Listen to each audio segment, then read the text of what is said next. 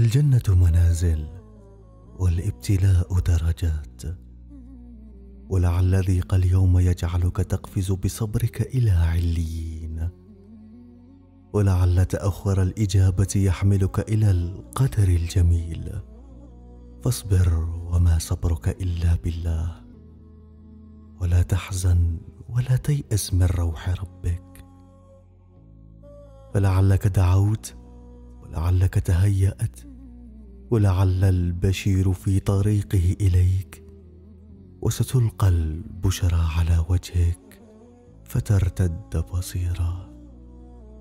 هون عليك فإن أمرك كله يرجع للذي وسعت رحمته كل شيء وهو على كل شيء قدير. أنت في عناية الله وحاجتك في خزائنه فطمئن قلبك.